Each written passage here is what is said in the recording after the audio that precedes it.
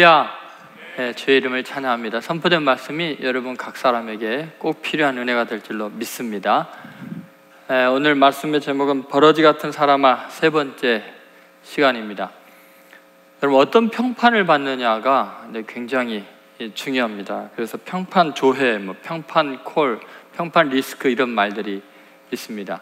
개인이나 기업에서 사람을 선택할 때 정말 중요하게 여기는 것이 평판이죠. 그래서 경력 사원들을 모집할 때 아, 인사 담당관의 한 55%는 반드시 평판을 줘야 한답니다. 저도 이제 부교육자들을 이렇게 뽑게 될 때는 아, 그 지원한 사람들 중에 이력서를 보고 마음에 드는 사람 중에 아, 꼭 그 교회 주위에 있는 다른 교육자들이나 또 우리 교회 아는 사람들에게 평판을 좀 물어보는 경향이 있습니다. 아, 그런데 이제 그 사람 주위에 있는 사람을 통해서 정보를 확인할 때 한국 사람들은 아, 나쁘다 좋다 이런 말을 쉽게 할 수가 없죠.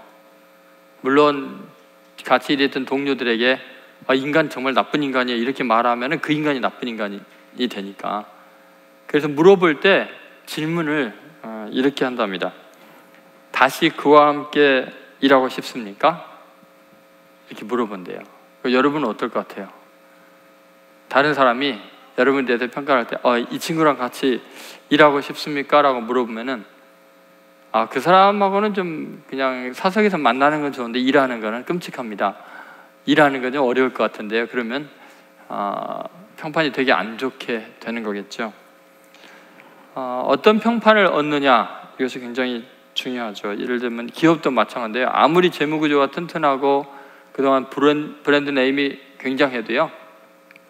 도덕적인 결함이 발견이 되거나 아, 평판이 지속적으로 안 좋아지면 타격이 큽니다. 예를 들어서 최근에 독일의 한 자동차 회사가 배출가스를 조작한 아, 사건 때문에 무슨 일이 일어났어요? 전 세계가 지금 뭐 슬렁슬렁하면서 잘못하면 회사의 존폐가 결정될 만큼 심각한 문제가 파생이 됩니다. 그래서 어떤 평판을 받느냐 그게 그렇게 중요합니다. 아, 그런데 사람의 평판이라는 게요 자주 바뀌기도 하죠. 또 잘못된 평판이 있을 수도 있습니다. 하나님의 평판이 정말 중요하죠.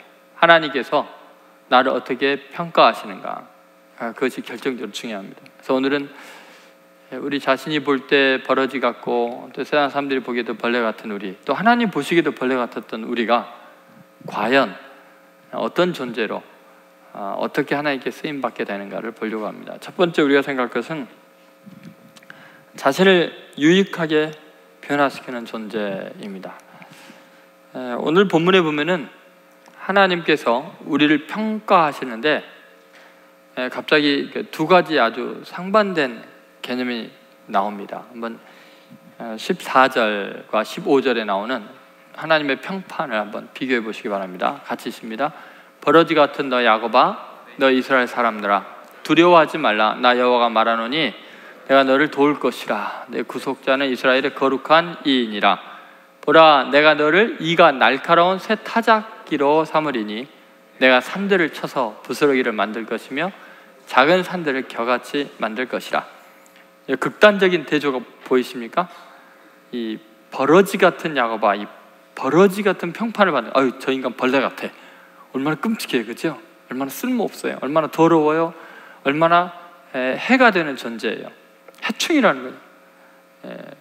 밥충이라는 말도 있지만 밥만 먹고 사는 벌레 같은 존재들. 뭐 이런 평가를 받는다면 우리가 굉장히 마음이 아프겠죠. 근데 참 놀라운 것은 바로 그 버러지 같은 야고바 했던 그 대상이 일순간에 이가 날카로운 새 타작기로 삼는다는 거예요. 벌레하고 이가 날카로운 새 타작 기계 한번 비교를 해보세요. 너무나 차이가 많이 나잖아요. 그런데 이렇게 존재의 가치가 쓸모없고 해가 되는 존재가 알곡을 탈곡시켜서 이렇게 거두어들일 수 있는 탈곡기로 바뀐다는 거 그래서 엄청난 변화이죠. 근데 그 사이에 무슨 일이 있느냐? 어떻게 이렇게 존재의 가치가 바뀔 수 있느냐? 유익하게 변화되느냐? 14절 그 뒷부분에 보면 뭐라 그랬어요? 하나님께서 내가 너를 도울 것이라.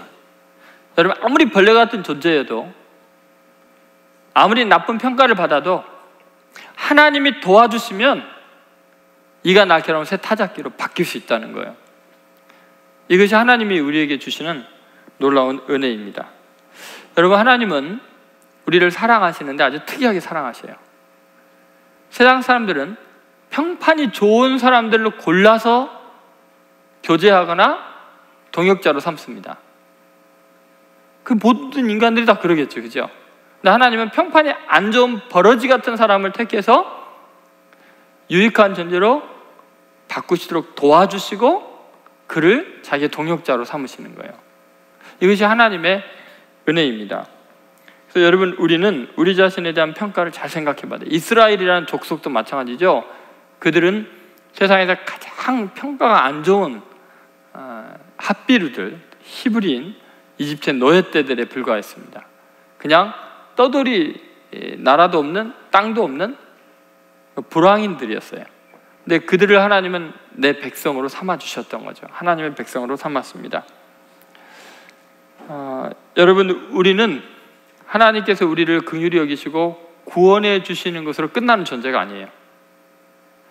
어, 우리를 벌레 같은 존재에서 거룩하게 바꿔 주시고 우리를 위대한 하나님의 동역자로 삼기를 원하신다는 사실을 잊지 않아야 됩니다.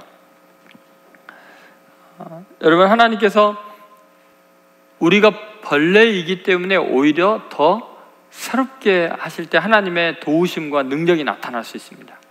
스스로 잘났고 강하고 어, 이가 날카로운 새 타작기라고 생각하는 사람들은 하나님이 글을 쓸 때 자신의 능력과 자신의 영광을 드러내기 때문에 하나님에게 전혀 도움이 되지 않습니다. 근데 하나님은 능력이 있으시니까 벌레같이 초라하다고 생각하고 자기를 낮추는 사람들을 하나님이 강하게 하시고 위대하게 만드시는 거죠. 그래서 고린도 전서 1장 27절 28절에 이런 말씀이 있습니다. 같이 읽겠습니다. 그러나 하나님께서 세상에 미련한 것들을 택하사 지혜 있는 자들을 부끄럽게 하려 하시고 세상에 약한 것들을 택하사 강한 것들을 부끄럽게 하려 하시며 하나님께서 세상에 천한 것들과 멸시받는 것들과 없는 것들을 택하사 있는 것들을 폐하려 하시나니 이는 아무 육체도 하나님 앞에서 자랑하지 못하게 하려 하심이라. 결국 하나님은 세상에 천한 것들, 멸시받는 것들, 그 없는 것들을 택하셔서 있는 것들을 폐하려 하신다. 그렇게 이야기를 하고 계십니다. 여러분 쓸모 없는 인생이 가치 있는 인생으로 이렇게 변화되는 것은 하나님의 위대하심, 그분의 도움 때문이지 우리 존재 자체가 특별한 능력이 있기 때문이 아닙니다. 그래서 정말 중요한 것은 하나님의 은혜 안에서 내 존재의 가치를 새롭게 발견하는 거예요. 어차피 하나님은 나를 만드셨고 아, 나의 창조주이실 뿐 아니라 나를 돕는 분이십니다. 그래서 그분 은혜 안에서 우리는 존재가 바뀔 수 있다는 것을 잊지 않아야 됩니다. 그래서 여러분 우리가 생각할 때 뭐냐면 지금 현재 내 모습이 벌레 같을 때 어쩌는 사람들이 나를 벌레 취급을 하고 내가 봐도 다른 사람과 비교할 때 너무 초라할 때 그때 어떤 마음을 가져야 되느냐가 중요합니다. 오히려 하나님께서 참 신기하게도 그런 사람들을 사명자로 부르시고 그런 사람들을 쓰시는 특이한 하나님이십니다.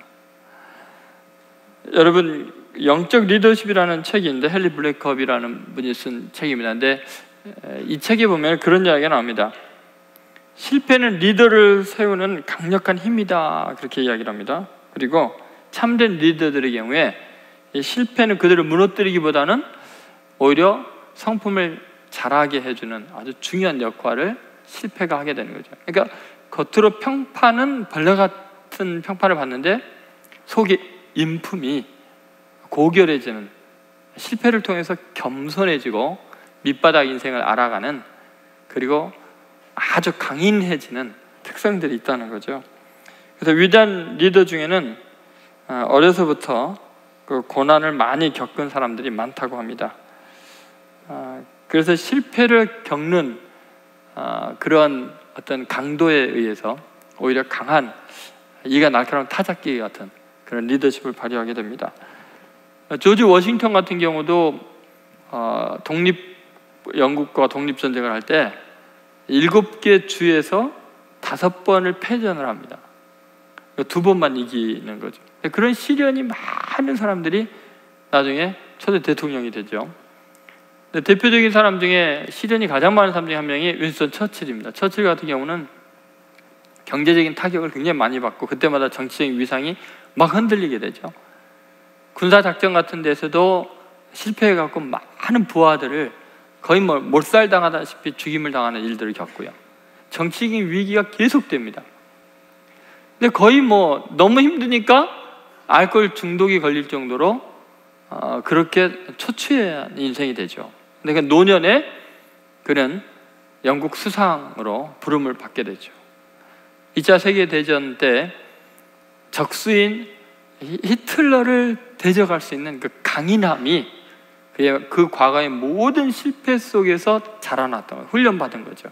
근데 결국은 히틀러라는 좀 악당이 없었으면 처칠은 자신의 그 모든 실패가 의미가 없을 뻔했어요. 근데 그 실패를 통해서 강한 사람이 되었기 때문에 히틀러를 아, 물리치는데 결정적인 역할을 하게 되는 거죠. 이분이 성공에 대해서 우리와 전혀 다른 개념의 이야기를 했습니다. 아, 이분이 말한 아, 성공은 이렇습니다. 성공은 열정을 잃지 않고 실패해서 다른 실패로 넘어가는 것이다. 중요한 건 열정을 잃지 않고 계속해서 도전하는 거죠. 하나님이 나 같은 벌레를 들어서 전혀 다른 이가 날카로운 타작 기계로 삼으신다는 것을 믿는다면 다시 일어서고 도전해 나아갈 수가 있습니다. 예수님은 사실 세상 사람들에게는 벌레 같은 취급을 받았던 분입니다. 멸시천대는 뭐 비교할 수 없을 만큼 처참하게 당했어요. 비인간화를 가장 심하게 겪은 분이 예수님이죠. 근데 신기하게 그 모습으로 정말 이가 날카로운 타작기처럼 수많은 영혼들을 구원하는 놀라운 역사를 이루었습니다. 그렇기 때문에 여러분, 여러분 자신에 대해서 어떤 시각으로 바라보느냐, 여러분 스스로의 지금까지 막 질리도록 자기에게 실망한 모습, 세상 사람들이 여러분을 대하는 그 지독한 편견과 그 다음에 제한, 너는 안 돼. 이런 벌레 같은 취급. 이걸 볼 거냐? 아니면 그 벌레를 이가 날카로운 새 타작 기계로 보시는 그 주님의 시선으로 볼 거냐가 중요합니다. 여러분 어떤 걸 선택하시겠어요? 어떤 걸 더 믿으시겠어요? 하나님이 보시면 그대로 사건화됩니다. 하나님이 보는 것이 더 정확합니다. 왜냐하면 하나님이 도와주실 거니까. 내가 너를 돕겠다고 두려워하지 말라고 하시니까 그 하나님의 도움을 의지하면 벌레 같은 내가 이가 날카로운 새 타작기로 변화될 줄로 믿습니다. 두 번째 중요한 것은 세상을 평등으로 변화시키는 존재입니다. 아, 이것은 15절, 16절에 있는데요. 아까는 자기 자신을 변화시키는 아, 그런 존재죠. 그 벌레에서 이가 날카로운 새 타작기로. 근데 하나님께서 그렇게 변화시킨 이유가 뭐냐면 그를 통해서 그 벌레를 통해서 세상을 변화시키기 때문이죠. 자, 세상이 그 벌레 한 마리 때문에 어떻게 변화되는가? 그 한번 극적인 대조를 한번 보시기 바랍니다. 자, 15절에서 16절 같이 읽겠습니다. 보라 내가 너를 이가 날카로운 새 타작기를 삼으리니 내가 산들을 쳐서 부스러기를 만들 것이며 작은 산들을 겨같이 만들 것이라 내가 그들을 까부른 즉 바람이 그들을 날리겠고 헤어리 바람이 그들을 흩어버릴 것이로되 나는 여호와로 말미암아 즐거워하겠고 이스라엘의 거룩한 이로 말미암아 자랑하리라. 여러분 여기 보면은 산들이 한 마리의 벌레 때문에 부스러기가 된다는 이야기가 나옵니다. 여러분 작은 산들이 겨같이 되어서 바람에 다 날아가서 흩어져서 존재를 찾기도 힘들게 만들겠다는 거예요. 여러분 우리는 우리 자신의 존재에 대해서 굉장히 능력에 대해서 비하하는 경우가 있습니다. 그래서 우리가 생각할 때 하나님께 복을 받고 하나님께 기대하는 게 뭐냐면 나 하나 변화되고 나 하나 가치 있는 인생 되는 것만으로도 만족하고 그것도 감당하기 힘들다고 생각합니다. 나 하나 성공하는 것도 어렵다고 생각해요. 근데 하나님은 나 하나 벌레 같은 존재 새 타작기를 만드는데 하나님의 계획이 멈추지 않아요. 하나님은 나 같은 벌레를 통해서 놀랍게도 산을 부스러기로 만드는 꿈이 있어요. 세상에 너무너무나 높아지고 교만하고 완고한 것들을 다 파괴해버리는 엄청난 탈곡기로 그 벌레를 사용하기를 원하시는 거예요. 작은 산들을 겨처럼 날려버리는 존재로 바꾸기를 원하세요. 여러분, 우리들은 우리 자신에게 너무 집중하는 경향이 있습니다. 내가 어떤 평판을 받느냐, 내가 어떻게 변화되느냐, 얼마나 인정받느냐, 계속 거기에만 관심을 기울이는데 하나님은 뭐라 하시냐면은 지금 너를 통해서 세상을 바꾸고 싶다는 거예요. 내가 너를 구원한 이유는 너를 통해서 세상의 산들을 부스러기로 만들어 버리겠다는 작은 산들은 겨처럼 날려버리겠다고 말씀하세요. 여러분 중요한 게 뭐냐? 나라는 존재에 대해서 어쩌면 내가 하나님의 벗이라고 불림을 받고 하나님의 사랑을 받는다고 할 때는 하나님께서 세상을 변화시키고자 하는 꿈을 우리에게 갖고 있다는 것을 전제로 하고 있습니다. 그래서 우리는 나를 향한 하나님의 계획을 그리고 나를 통해서 이 세상을 바꾸고자 하는 하나님의 꿈을 발견할 수 있어야 돼요. 내가 벌레인데 나 하나 탈피하는 것이 전부라고 생각해서는 안 돼요. 하나님께서는 당신의 소원을 우리에게 두고 우리를 사용하기를 원하셔요. 그래서 내가 내 인생만 바라볼 게 아니고요. 하나님의 계획과 섭리 속에서 나를 어떻게 그분이 사용하시고 세상을 어떻게 바꾸기를 원하시는가 거기에 집중을 할 필요가 있어요. 특히 젊은 시절에는 이거 빨리 깨달아야 돼. 나 하나 성공하는 게 문제가 아니라 내가 속한 공동체와 시대가 나를 통해서 변화될 수 있다는 믿음을 가지셔야 돼요. 물론 벌레 입장에서는요, 자기 몸 하나 간호하기 힘들고 자기 하나 평가 제대로 받기도 힘드는데 이게 있을 수 없는 일이라고 생각하겠지만 주님은 그렇게 말씀하시는 걸 어떻게 합니까? 자, 예를 들어 볼게요. 베드로를 한번 생각해 봅시다. 처음 주님을 만난 그때는 베드로는요, 거의 희망이 없는 사람이었어요. 누가복음 5장에 나오는 베드로의 모습은 주님을 한 두어 번 만난 순간이었던 것 같은데 밤새껏 그물을 던졌는데 잡은 것이 하나도 없는 빈털떨이 인생이었어요. 아마 가족들이 굶주려서 며칠 동안 울면서 기다리고 있는지 몰라요. 희망이 없는 인생이에요. 실패자예요. 남들이 조롱하고 물고기도 비웃는 존재였어요. 그런데 그가 예수님께 부름을 받고 제자 가 되어서 이제 예수님을 따라다니는데 더 심각한 문제가 일어나요. 사사건건 예수님께 대들어요. 나이 들이 되면서. 그리고 나중에는 예수님께 무슨 소리까지 나면 사탄아 물러가는 소리를 들어요. 여러분 중에 누가 제가 여러분한테 이 사탄아 물러가라면 우리 교회 나오겠어요? 차라리 벌레야 그런 게 낫지. 이 사탄아 그러잖아요. 그 정도로 절망했을 거예요. 나중에 그래도 주님을 따르겠나라고 내가 주님을 위해 목숨을 버리겠습니다 하니까 주님이 하신 말씀이 네가 날 위해 목숨을 버린다고 다 울기 전에 네가 나를 세 번 부인하라 하는데 부인만 하는 게 아니라 저주까지 했어요. 밖에 나서 통곡을 했어요. 이 벌레만도 못한 이 죄인. 쓸모없는 이 죄인. 주님 따라다니면서 한 번도 주님 마음에 드는 적이 없는 벌레 같은 이 죄인. 근데 참 놀라운 것은 예수님은 그를 택했다는 거고 그는 하루에 3천 명씩 사람을 구원하는 엄청난 탈곡기가 되죠. 한 번 설교에 3천 명이 회개해요. 우리가 어찌할까 하고 통곡을 하면서 베드로 앞에서 꼬꾸라질 사람들이 어떻게 그럴 수 있냐고요.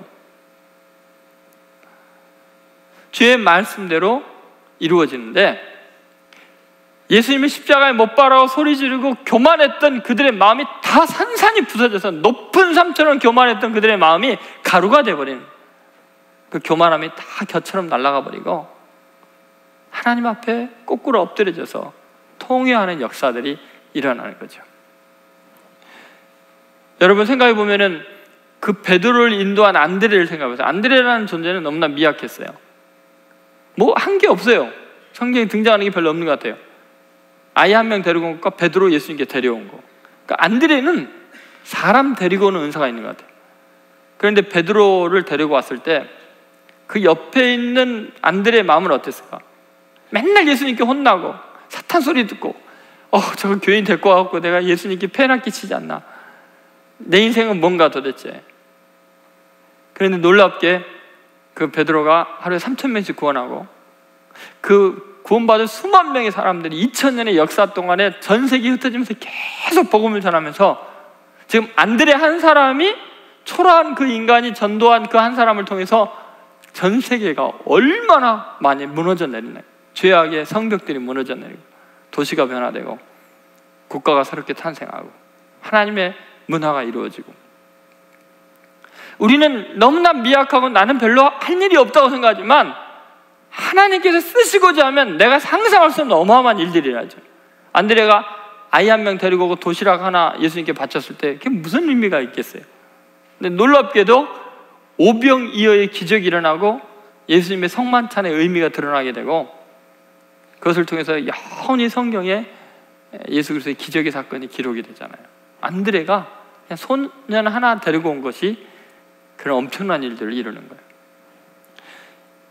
여러분 중요한 것은 내가 지금 내 존재 자체가 세타닥기가 되느냐 벌레였다 이렇게 바뀌느냐 이것도 중요하지만 더 중요한 것은 하나님이 나를 어떻게 쓰고자 하시는가? 그 하나님의 계획과 하나님의 비전과 하나님의 소원을 향해서 내 인생을 드리게 되면요. 그 현장에서는 내가 모르는데 불과 몇 년이 흐른 다음에 하나님의 어마어마한 일을 정말 산들을 부숴서 부스러기로 만드는 그런 도구가 되었다는 것을 나중에 알게 돼요. 그래서 지금 세상 사람들의 평판이 중요한 게 아니고 내가 누구인가가 중요한 게 아니고 하나님의 계획 안에 내 자신을 던지고 있는가?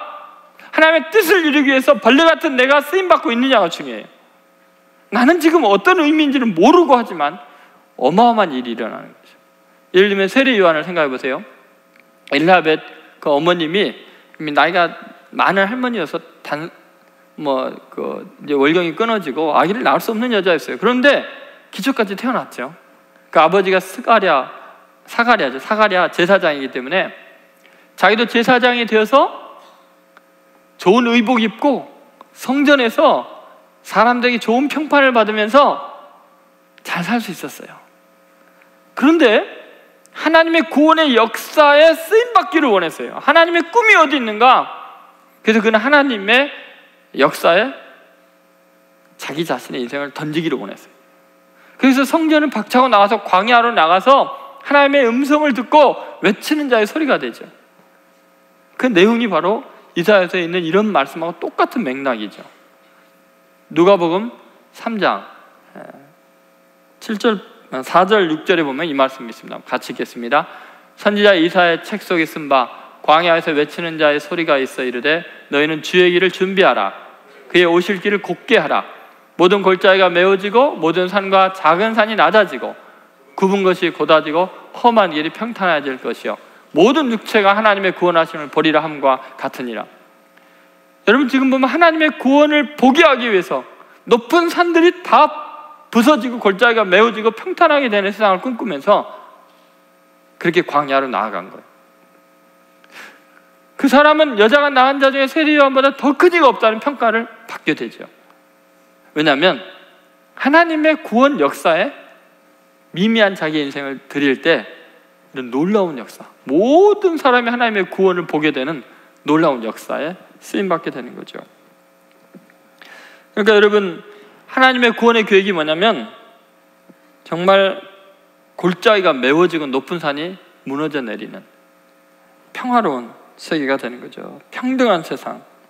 예수님은 이 꿈이 아주 특별했던 것 같아요. 그래서 예수님이 자주 하신 말씀 중에 먼저 된 자가 나중되고 나중된 자로서 먼저 될 자가 많으니라 했어요. 역전이 가능한 열려진 세계, 신분의 이동이 가능한 세상. 높은 자는 낮아지고 낮은 자는 높아지고 먼저 된 자는 나중되고 나중되면 먼저 되고 그러면 같아지는 거예요.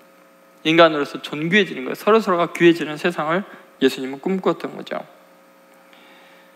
여러분 자신이 벌레였던 것을 경험한 사람 그런 사람들은 역전이 가능한 세상을 꿈꾸게 돼 있어요. 자기가 이가 날카로운 새 타작기가 돼도 또 다른 벌레들을 멸시하지 않고 그 벌레에게도 희망이 있다는 것을 알거든요. 너가 비록 이렇게 지금은 벌레여도 하나님이 너를 이렇게 변화시킬 거야. 그 세계를 보여줄 수 있지요. 예수님은 친히 인간이 되셔서 자기를 낮추시고 죽기까지 복종하셨습니다. 그래서 우리를 잘 이해하셨고 우리를 사랑하셨습니다. 벌레 같은 경험을 한 사람들은 그 자이든 타이든 다른 사람을 이해할 수 있는 남다른 능력과 인격이 형성이 됩니다. 그래서 여러분이요, 다른 사람보다 내가 못났다라고 생각할 그 측면이 사실은 다른 사람이 이해하지 못하는 세계를 알고 있는 사람인 거예요. 다른 사람보다 많은 아픔을 경험한다는 것은 아파하는 많은 사람들과 동질감을 느낄 수 있는 폭이 큰 사람이 되었다는 것을 의미하죠. 벌레 같은 사람이 산을 부술 수 있는 거예요. 절대로 벌레 같은 경험이 없는 사람은 어떤 의미에서는 위대하게 쓰임 받을 수가 없어요. 강인함이 없어요. 그래서 자기 자신을 부서뜨리고 무너뜨린 사람이 또 다른 산들을 부서뜨리고 무너뜨릴 수 있는 능력 있는 사람으로 쓰임 받게 되는 거죠. 월드비전의 친선 대사 역할에는 김혜자 권사님 그 탤런트 있죠. 그분이 꽃으로도 때리지 말라라는 책을 출간했습니다. 프란체스코 페리의 꽃으로도 아이들을 때리지 말라는 그 책에서 아마 그 제목을 따온 것 같아요. 근데 거기에 이런 절규가 있습니다. 오 하나님, 세상은 왜 이리도 불평하는 걸까요? 그래서 세상의 불평에 대한 이야기들이 어, 이게 제시되어 있습니다. 인류가 화장품을 소비하는데 연간 180억 달러, 향수를 소비하는데 150억 달러, 애완용 동물 사육에 170억 달러. 이면에서는 저도 걸립니다만 저희 집에 개가 두 마리나 되니까. 그 뒤편에서는 아이들이 전염병으로 죽어가고 있다고 말합니다. 1만 달러면 이 도시의 아이들 모두 예방 접종시킬 수 있음에도 그 180억 원, 170억 원 막 이런 돈이 화장품 향수로 나가고 있는데 1만 달러면 한 도시 전체의 아이들을 질병으로부터 자유케 할 수 있다는 거예요. 인도의 마드레이라는 지방에서요. 두 번째 아이부터는 산모가 딸을 낳을 경우는요. 태어나자마자 3일 동안 아무것도 안 먹인대. 젖을 안 먹인대. 왜 그러냐면 입을 하나 줄이기 위해서. 식구가 먹고 살 길이 없으니까 그 애가 살아, 살게 되면은 다른 사람도 굶어야 되니까 다른 다 죽는 거예요. 간신히 생명 유지만을 위해서 아, 하루에 10루피밖에 못 벌거든요. 우리나라 돈은 30원이에요. 근데 이걸로 살 수 있는 영양가라는 것은 생명이 부지될 수 있는 거의 기가 막힌 어, 그 선에 닿아 있는 거예요. 그러니까 거기서 조금만 먹으면 바로 죽는 거예요. 목숨이 간신히 유지되는 거죠. 그러니까 다른 생명이 또 태어나게 되면 다 죽는 거예요. 그러니까 이 아이를 태어나자마자 3일 동안 굶기는 거예요. 애가 태어나고 얼마나 울겠어요. 얼마나 갈증이 나겠어요. 그 나중에 이제 3일이 지난 다음에는 어, 올리안다라는 독초를 아기 입에다 넣은대요. 그럼 애가 뭐 너무 배고프니까 입에 닿는 거 다 먹을 거 아니에요. 입 벌려서 넣으면 독초를 막 먹어가지고 애가 죽는 거예요. 그러면 죽은 아이를 위해서 10일 동안 통곡을 하면서 울고 그리고 일상으로 돌아가서 이제 끼니를 위해서 일하게 되죠. 그러다가 또 옆집에 다른 아이가 죽으면 또 가서 같이 울면서 자기가 죽인 딸아이 생각하면서 같이 우는 거죠. 그리고 또 일상으로 돌아오고. 굶주림이라는 거 그것이 가장 사랑하는 생명, 자기 자녀도 지키지 못하는 비참함을 주는 거죠. 그런데 그 인도의 어떤 사람들은요, 수입차를 몰고 다니는데 그 수입차가 30억 원이 넘대요. 30원으로 한 가족이 살아야 되는 그런 세상에서 30억 원짜리 차를 몰고 다니는 사람이 수없이 많은 거예요. 수없이 많은 사람들이 그렇게 처참하게 절망하고 죽어가고 있는데 너무나 많은 사람들이 어마어마한 전혀 다른 세계를 살고 있는 것이 이 세상이에요. 30억 원짜리 차를 몰고 다니는 사람이 30원 때문에 아이를 죽여야 되는 부모의 마음을 알 리가 없어요. 그래서 너무 산은 높고 계곡은 너무 험하게 내려가 있는 거예요. 주님의 소원이 뭐냐면 피눈물이 나는 거죠. 이걸 다 가루로 만들어서 평지가 되게 하는 게 주님의 뜻이에요. 세리완도 외치고 주님도 외치는 이 땅에 오신 목적이 그거였습니다. 여러분, 어, 우리는 세상이 너무너무 험하다 보면 너무 이그 불균형의 세계를 살다 보면은 나는 벌레처럼 나약하기 때문에 아무 도움이 안 된다고 생각해요. 생각해보세요. 이 높은 산에 벌레 한 마리 무슨 도움이 되겠어요? 아무런 희망이 없어요. 발버둥을 쳐도 방법이 없다고 생각하는데 하나님은 그 벌레로 산들을 부스러기로 만들겠다고 분명히 이야기를 하셔요. 우리는 우리 자신에 대해서 평가를 다시 해봐야 돼요. 예를 들어서 위대한 영향력이라는 책에 짐 도넌, 존 맥스웰 이분이 지은 책인데 거기 보면 누구나 승자를 좋아한다. 이미 자신을 증명해 보인 사람을 믿기는 그리 어렵지 않다. 반면 아직 증명되지 않은 사람을 믿기는 정말 어렵다. 그러나 그러한 믿음이야말로 동기 유발의 핵심이다. 따라서 상대방이 성공하기 전에 아니 심지어 상대방이 자기 자신을 믿지 못하고 있을 때 믿어 주어야 한다. 이런 말을 했어요. 근데 저는 이걸 읽으면서 하나님이 우리를 믿어 주는 게 생각이 났어요. 지금 벌레인데 하나님 어떻게 같이 평가하냐면 네가 타작기가 돼서 산을 부스러기로 만들 거다. 아니 벌레한테 산 속에 살고 있는 나뭇잎 하나 갉아먹고 있는 벌레한테 네가 이 산을 부스러기로 만들 거다. 자기 자신이 보기도 벌레인데 뭐. 나 먹고 살기도 힘든데. 나 몸 하나 갖누지 못하겠는데. 하나님은 아니다. 너가 세상을 바꿀 거다. 세상을 가루로 만들 거다. 우리에게 우리보다 더 자신을 믿어주시는 하나님이 계십니다. 하나님은 창조주이시고 역사의 주권자이십니다. 그래서 벌레를 얼마든지 세타잡기로 만들 수 있습니다. 현실보다도 더 명료한 사실은 진실은 하나님의 말씀입니다. 여러분 자신이 여러분을 평가하는 것이나 세상이 여러분을 평가하는 것보다요. 하나님의 말씀이 여러분에게 임하면 여러분 반드시 그런 일을 할 수 있습니다. 왜냐하면 말씀대로 이루어지니까. 그래서 이스라엘 그 초란 벌레 같은 자들을 새 타작기로 삼으시고 역사의 가장 강력한 민족으로 바꿔놓습니다. 그래서 내가 생각하는 나보다 하나님은 훨씬 더 나를 크게 사용할 수 있습니다. 그분의 계획과 섭리 안에 내 자신을 드리기만 하면 여러분이 속한 시대에 여러분 속한 공동체 하나님의 놀라운 뜻을 이룰 수 있는 줄로 믿습니다. 빌립보서 2장 13절에 그래서 이런 말씀이 있죠. 같이 읽어보겠습니다. 너희 안에서 행하시는 일은 하나님이시니 자기의 기쁘신 뜻을 위하여 너희에게 소원을 두고 행하게 하시나니 여러분 마음에 지금 이 말씀을 들으면서 소원이 일어난다면 하나님이 여러분을 통해서 역사하기를 원하는 거예요. 하나님의 기쁘신 뜻이 여러분 속에 소원으로 불릴 듯 일어나고 있는 줄로 믿습니다. 비록 벌레이지만 이 세상에 높 고 교만한 험악한 산들을 다 부스러기 만들어서 골짜기를 메우고 이 땅이 평탄한 곳으로 평화로운 곳으로 만들겠다고 결단하는 여러분 되시기를 주의 이름으로 소원합니다. 어, 마지막으로 하나님을 영화롭게 하는 존재로의 변화예요. 첫 번째는 자기 자신의 존재의 변화이고 두 번째는 세상을 변화시키고 세 번째는 하나님에 대한 가치관이 바뀌는 거예요. 하나님에 대한 자세가 바뀌는 거예요. 이것은 하나님을 즐거워하고 하나님을 자랑하는 인생이 되는 거죠. 16절 뒷부분 한번 같이 읽어보겠습니다. 너는 여호와로 말미암아 즐거워하겠고 이스라엘의 거룩한 이로 말미암아 자랑하리라.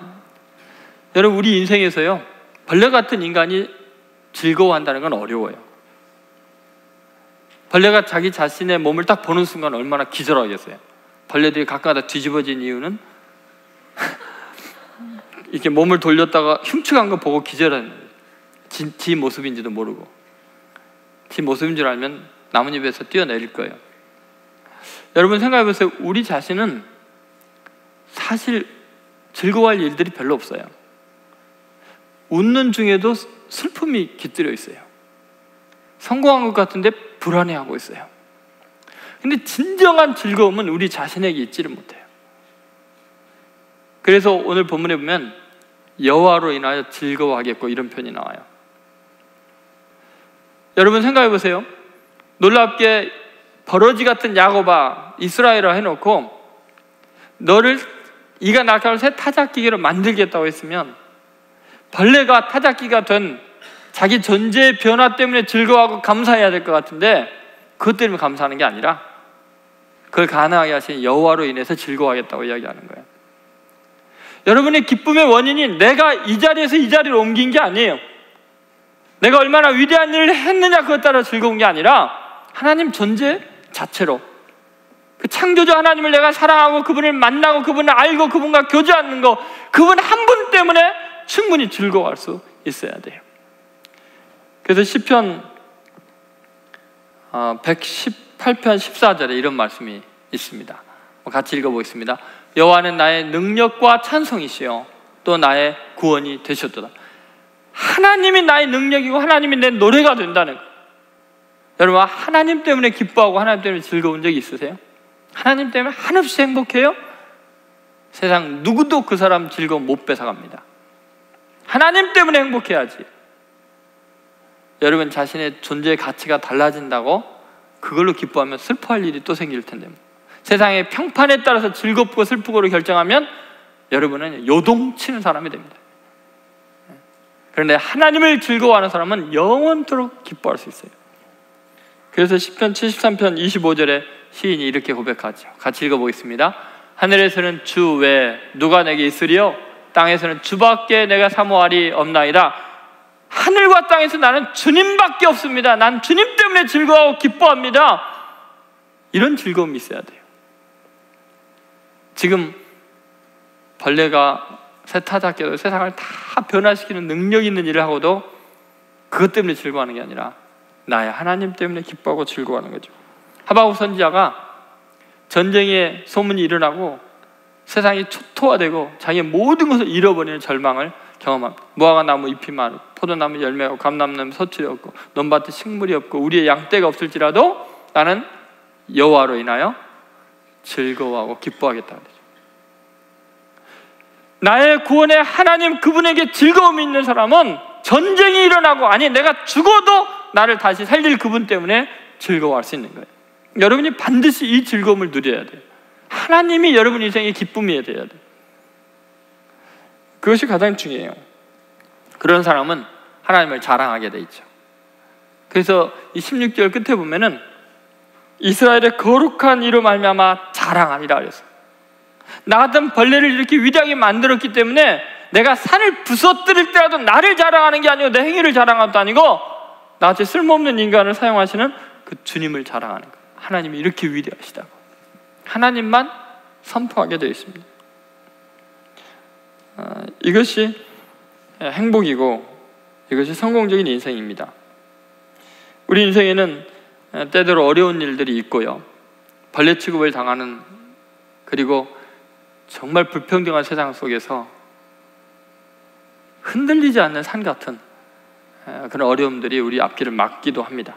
근데 그때마다 우리는 기억해야 될 게 하나님의 약속의 말씀이에요.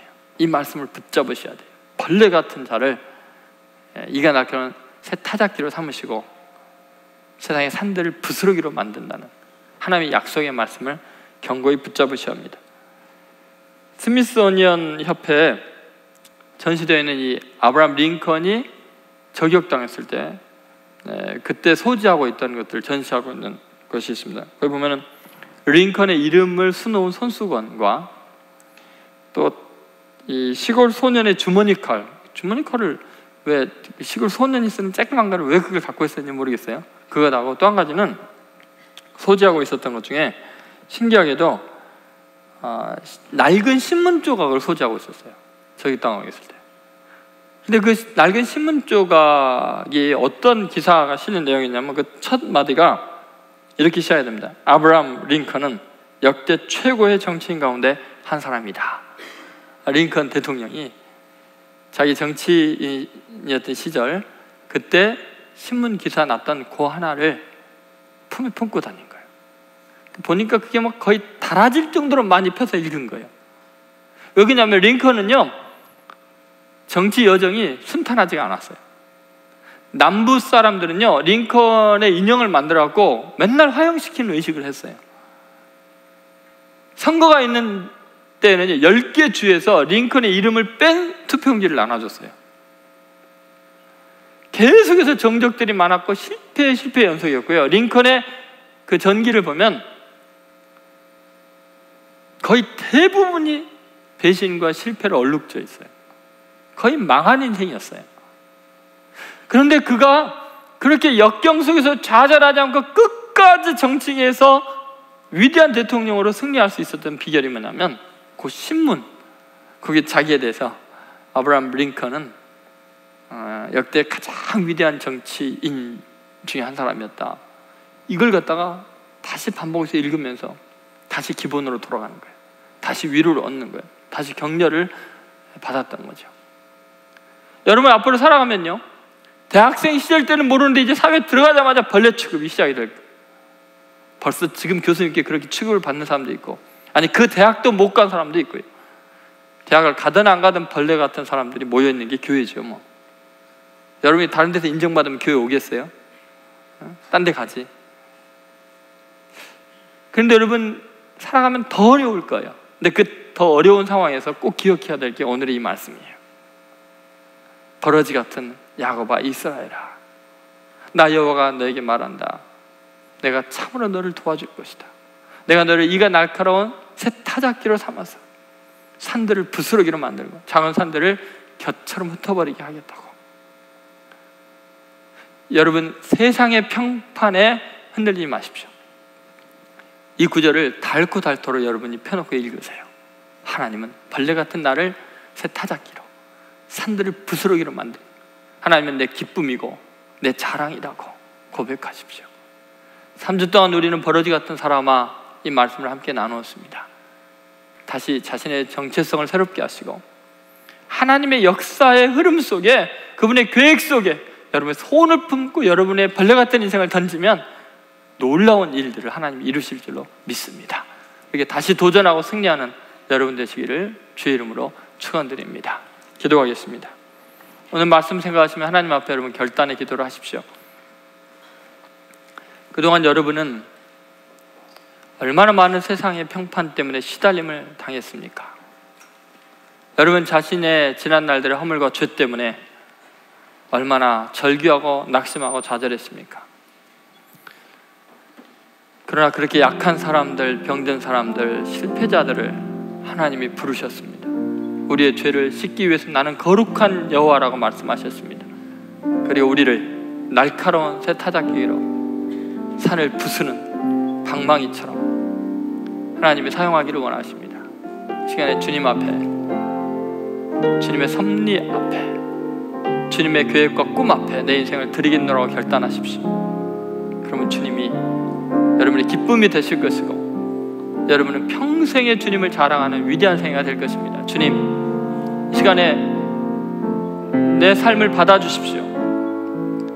주님 이 시간에 나를 불러주시고 나를 세타잡기라고 말해주시고 주님 내가 이 땅에서 내 시대에 해야 될 일들과 사명을 주시옵소서 주님 앞에 쓰임받는 남은 생애가 되게 하여 주시옵소서. 주여 내가 여기 있습니다. 주님만이 나의 기쁨이고 주님만을 자랑하겠습니다.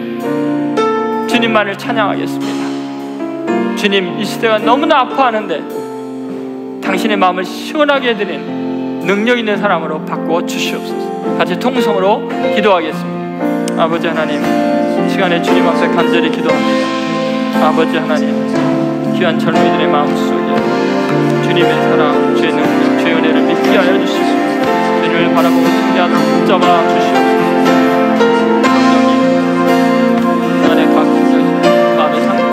치유하시고 강하게 하시고 위대하게 하시고 붙잡아 주시옵소서 주님 의지합니다 주님을 기대하는 지금은 우리 주 예수 그리스도의 은혜와 하나님 아버지의 사랑과 성령의 감동하심이 버러지와 같은 인생을 새 타작기로 삼으신 주님을 기뻐하고 주님을 자랑하며 이 시대에 하나님의 뜻을 이루겠노라고 마음에 굳게 결심하는 하나님의 아들, 딸들 머리 위에 지금으로부터 영원히 함께 하시기를 간절히 축원하옵나이다. 아멘.